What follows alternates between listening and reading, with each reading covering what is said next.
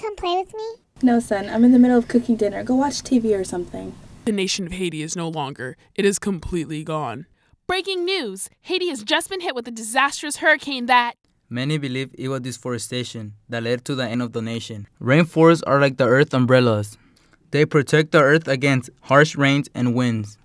If you cut down trees, the earth is no longer capable of absorbing the water when it rains, causing major landslides, leaving homes uninhabitable and destroyed. We warm oil countries, stop cutting trees. We need to preserve our lands, or else Haiti won't be the last destroyed nation. Mommy, is the guy on the news right? Can this really happen to us? No, of course not. It's not our fault deforestation is happening. So whatever happens in Haiti can never happen here? Yes, that's right. You don't have to worry about that nonsense.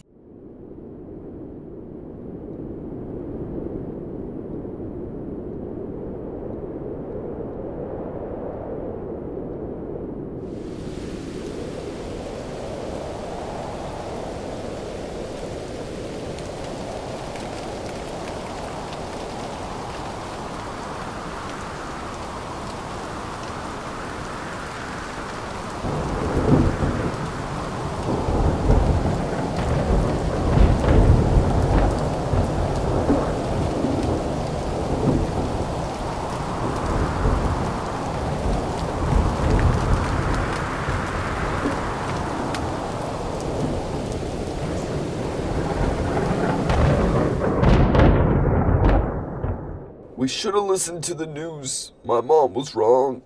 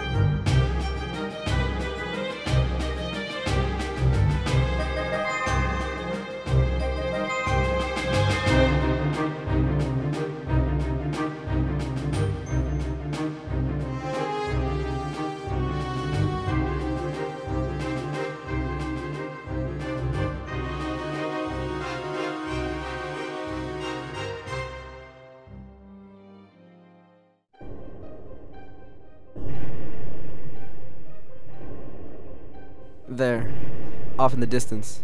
Do you see it? It's the Williams feedlot here in my hometown of Waco, Texas. I worked the kill floor there for a time, but after so many years on the job, I just couldn't hack it anymore.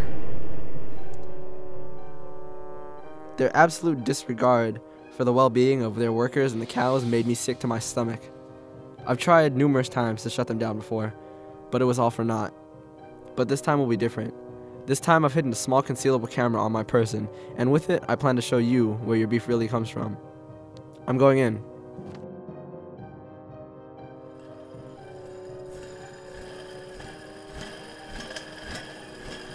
Wait, what is this? Where are we? This isn't the factory I worked. The one I worked had cattle by the hundreds crammed together in tiny holding pens where they were literally living over their own refuse.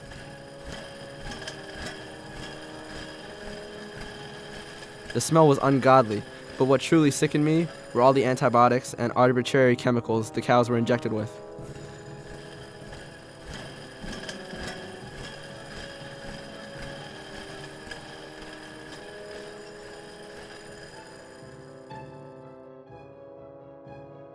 Sounds harmless enough, but what this does is create superbugs. The injection is killing all of the weakest forms of the virus, leaving the only the strong to reproduce. Not only that, but the carbon footprint that producing beef commercially creates is staggering. There's no doubt in my mind that this floor is a facade to ease the masses.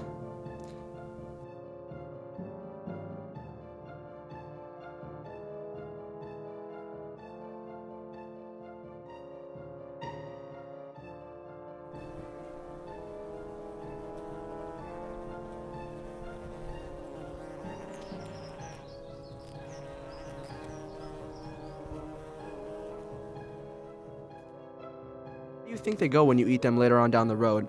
They don't just disappear. Every time you eat it, you're getting a low dosage of said injection. I guess in the end, these businesses will always find ways to weasel around people like me. The only people that can force them to change is you, the consumer.